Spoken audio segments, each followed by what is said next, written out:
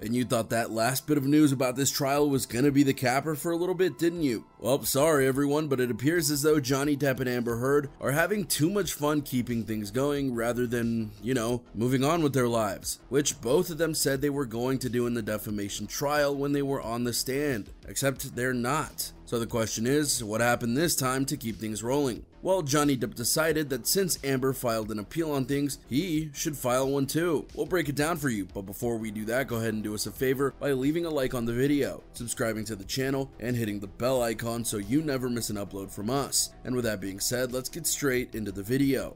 Do you want to win an iPhone 12? Maybe a MacBook Pro? How about $500 cash? All you have to do is comment the secret hidden message somewhere in this video. That's it. Oh, and leave a like on this video and subscribe to the channel so we can keep affording these giveaways. Winner will be announced at the last day of each month. Thanks for watching and good luck. Depp tries to fix the verdict. If you haven't heard by now, Johnny Depp filed his own notice of appeal Friday, seeking to overturn the $2 million verdict in Amber Heard's countersuit. To recall the June 1st verdict, the jury found the actress defamed Depp in her 2018 op-ed and awarded him over $10 million on one side of the damages at least. First question, how is Amber doing? We saw her hearing that verdict. It took a long time to read. It was a sweeping verdict for Johnny Depp.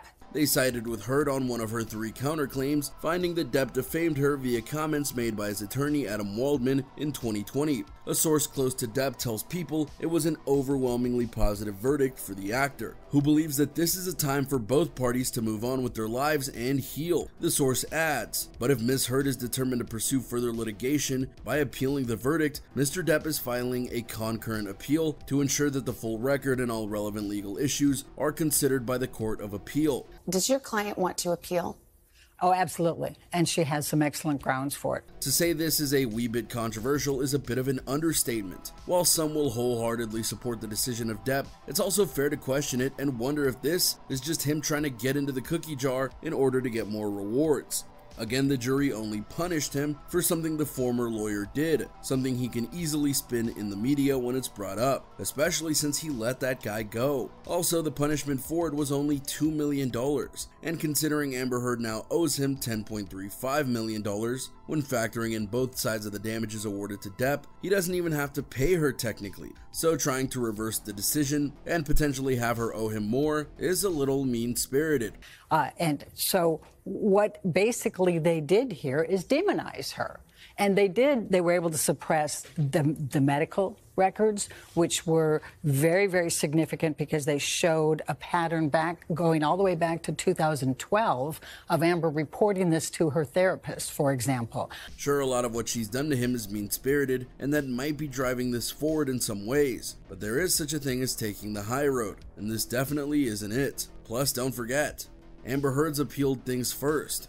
A day before all this went down, Amber Heard took a first step toward appealing the verdict in the defamation case. Attorneys for Heard filed a notice of appeal in Virginia on Thursday, telling the court they intend to appeal the jury verdict and all the post-trial motions that did not go in favor of their client you know, and that's because she was demonized here. A number of things were allowed in this court that should not have been allowed, and it caused the jury to be confused. In the civil case with Depp, the court documents does not elaborate on Heard's appellate argument, but her attorneys previously indicated she planned to appeal what the jury ruled on June 1st. We believe the court made errors that prevented a just and fair verdict consistent with the First Amendment.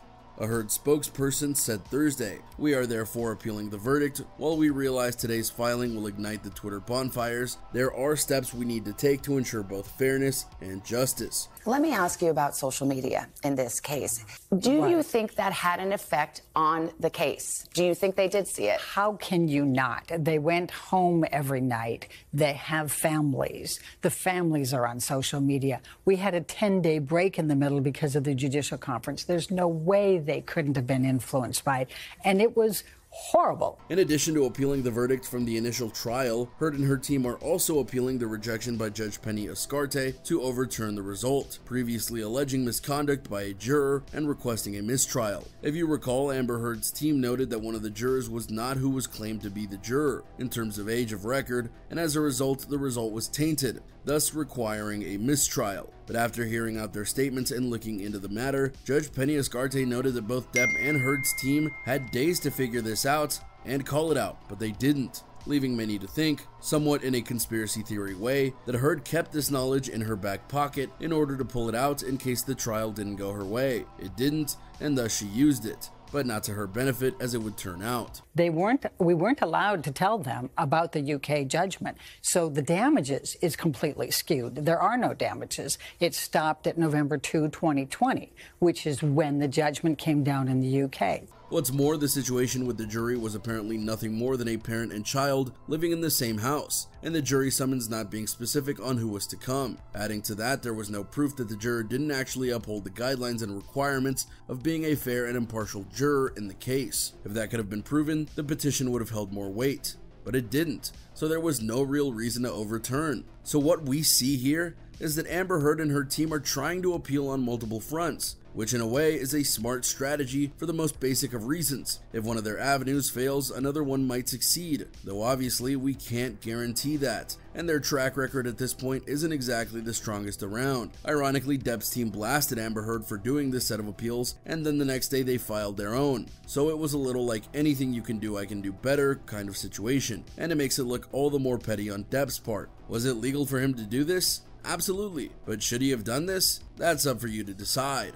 Moving forward, another thing that you need to weigh in determining what these appeals really mean for both Johnny Depp and Amber Heard is that of what they've been saying ever since the defamation trial officially ended. You know, one of the first things she said is, I am so sorry to all those women out there. This is a setback for all women in and outside the courtroom. Both of them made statements to the jury ruling, and how they act now either reflect or contrast what was said then. For example, in a long statement, Depp talked about his next chapter in life. My decision to pursue this case knowing very well the height of the legal hurdles that I would be facing and the inevitable worldwide spectacle into my life was only made after considerable thought. From the very beginning, the goal of bringing this case was to reveal the truth, regardless of the outcome. Speaking the truth was something that I owed to my children and to all those who have remained steadfast in their support of me. I feel at peace knowing I have finally accomplished that. The best is yet to come, and a new chapter has finally begun. He added,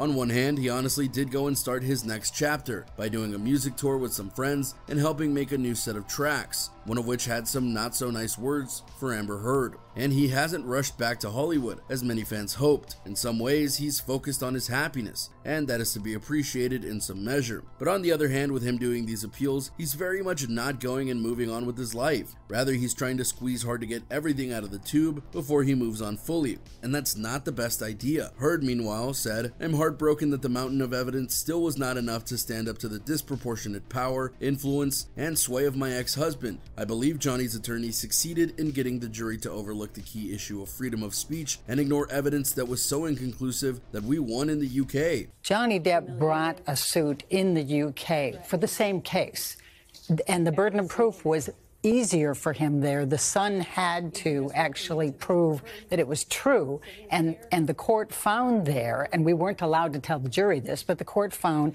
that Mr. Depp had committed at least 12 acts of domestic violence, including sexual violence, against Amber. She added, "I'm sad I lost this case, but I'm sadder still that I seem to have lost a right I thought I had as an American to speak freely and openly." The irony in that statement is very well known, as ever since the trial, Amber Heard has been using her freedom of speech to go and make it clear how she feels about the trial, the verdict, the jury, the judge, and everyone who isn't on her side. These appeals are just her latest attempt to try and get things overthrown and get Johnny back in court, which is ironic because in court, Amber Heard blasted out emotionally that she wanted Johnny to just leave her alone so she can move on with her life, and yet now she's trying to get closer to him. It's clear these two have very specific specific goals on what they want to do. Whether either of them get it is anyone's guess at this point. And there you have it everyone, a look at the latest twist in the Johnny Depp Amber Heard saga and how this might just mean that things really aren't going to end anytime soon. Be honest, did you see Johnny Depp doing this? Why do you personally think he's doing this? Will Amber Heard respond and call him out for it? Let us know what you think in the comments down below, be sure to subscribe, and we'll see you next time on the channel.